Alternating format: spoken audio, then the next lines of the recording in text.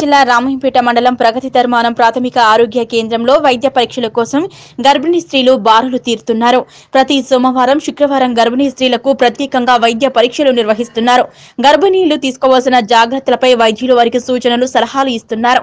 వైద్య పరీక్షలు అనంతరం వారికి నెల రోజులకు సరిపడా మందులను అందజేస్తున్నారు.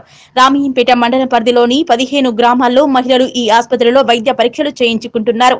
గర్భిణీ స్త్రీలకే కాకుండా ఒక్కో వ్యాధిగ్రస్తులకు వారంలో ఒకరోజు వైద్య పరీక్షలు నిర్వహిస్తున్నట్లు డాక్టర్ ఎలిజబెత్ రాణి సూచించారు.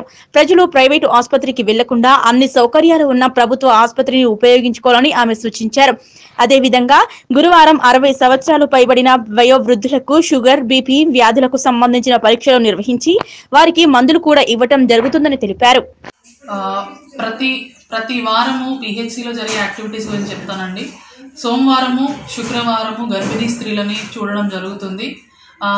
గర్భిణీ స్త్రీలు తీసుకోవాల్సిన జాగ్రత్తలు వాళ్ళకి చేయాల్సిన పరీక్షలు ప్రతి యాంటీనేటల్ కేర్ అనేది కొత్తగా కొత్త ఎంసీపీ కార్డులలో ఇంకా ఇంప్రూవ్మెంట్ జరగడానికి వాళ్ళకి ఏమైనా ఇబ్బందులు అంటే హై రిస్క్ అనేవి ఐడెంటిఫై అయితే మెదక్ ఏరియా హాస్పిటల్కి పంపించడం జరుగుతుంది.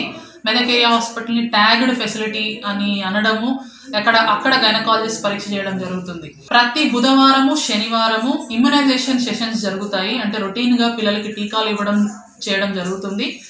దాదాపు ముప్పై ఏడు సెషన్స్ ప్రతిరోజు ప్రతి బుధవారము శుక్రవారము కండక్ట్ చేయడం జరుగుతుంది. మళ్ళీ గురువారం రోజు ఎల్డర్లీ క్లినిక్ అంటే వయోవృద్ధుల క్లినిక్ అరవై సంవత్సరాలు పైబడిన వాళ్ళకి ప్రత్యేకంగా పరీక్షలు చేయడము షుగరు బీపీ క్యాన్సర్కి సంబంధించిన అవగాహన కల్పించడము.